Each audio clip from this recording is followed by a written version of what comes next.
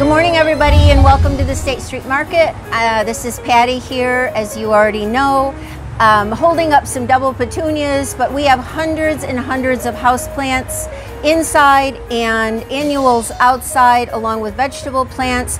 We just got in yesterday hundreds of the red geraniums that I know a lot of you love for your cemetery plantings and Memorial Day is soon upon us. So if you want to get an early start on that, we have many, many geraniums and other accent plants for the cemeteries.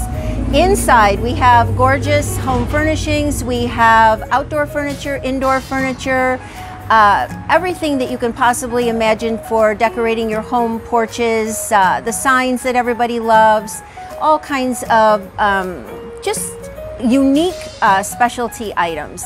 So always the fresh baked goods are inside. We have dog biscuits inside that are baked uh, freshly and delivered. We have all types of unique uh, soaps and lotions and candles indoors, but outdoor right now is a little bit uh, special to us because it's a fresh air market. The doors are up. Uh, the plants are blooming. I mean, this is God's perfect creation. Um, so we're located at 454 State Street here in Watertown, right across from Ace Hardware.